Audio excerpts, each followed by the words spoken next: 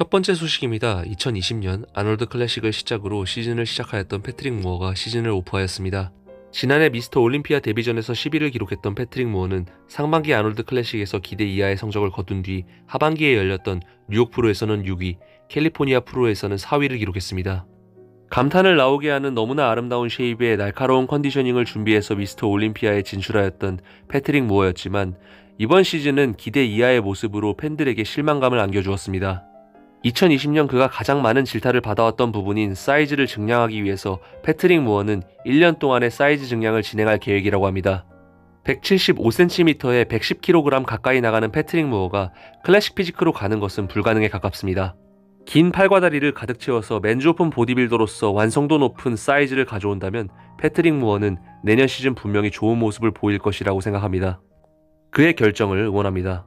두 번째 소식입니다. 필히스의 최근 모습과 브랜든 커리의 최근 모습입니다.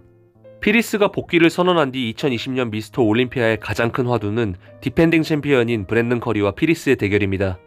필히스는 과거에 미스터 올림피아 타이틀 방어전을 준비하던 모습과 같이 엄청난 볼륨감을 자랑하였습니다. 브랜든 커리 역시 그의 타이틀을 방어하기 위해서 상체 사이즈에 matching되는 하체 사이즈를 위해서 사이즈를 증량 중에 있습니다. 또한 브랜든 커리의 후면 다이어트가 필히스의 다이어트와 matching이 될 수 있는가도 중요한 관전 포인트가 될 것 같습니다. 세 번째 소식입니다. 212 보디빌딩의 new face 볼 루이스 선수입니다. 지난 뉴욕 프로를 우승하면서 미스터 올림피아에 진출하게 된 선수인데요. 212 보디빌딩의 top level의 선수들이 지니고 있는 엄청난 mass감을 보여주는 선수는 아니지만 완성도 높은 근육의 모양과 함께 수준 높은 다이어트를 가져올 수 있는 선수이기 때문에 올림피아 데뷔전이 기대가 됩니다. 네 번째 소식입니다. 미스터 올림피아로 갈 수 있는 관문이 시카고 프로, 뉴욕 프로 단 두 가지만 남았습니다.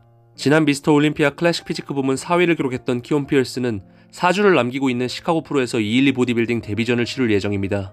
4주도 남지 않은 시점에서 키온 피어슨의 체중은 206파운드, 212파운드에 가까운 체중까지 증량을 했습니다.